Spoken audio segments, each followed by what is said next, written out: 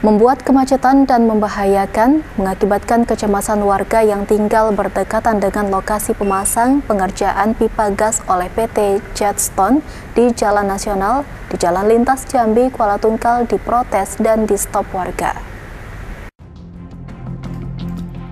Senin siang, puluhan warga yang bermukim di wilayah Parit Panglong, Kelurahan Mekarjaya, Kecamatan Betara beramai-ramai menyetop aktivitas pemasangan pipa gas yang telah dimulai pengerjaannya sejak sebulan terakhir.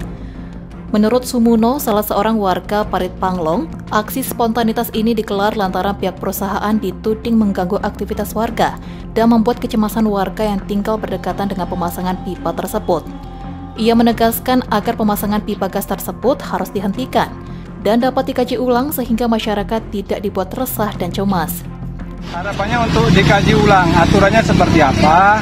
Yang kedua, kalau masyarakat sih meminta sebenarnya pengen dihentikan saja. Lagi-lagi karena masalah keamanan gitu ya, keamanan, kenyamanan dan mengganggu perekonomian warga kayak gitu.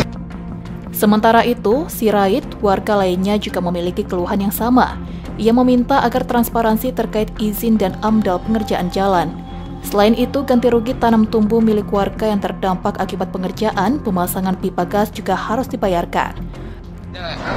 Masyarakat minta hmm, atau menuntut pertama transparansi masalah AMDAL atau izin sebenarnya siapa yang mengizinkan bahwasanya jalur yang dilalui oleh pipa sekarang ini hanya percis setengah meter di bahu jalan aspal. Hmm. Nah, rugi tanam tumbuh yang betul-betul terimbas dari galian-galian yang ada dilakukan oleh pihak perusahaan yang sesuai, sesuai dengan peraturan yang ada di Kabupaten Tanjung Barat.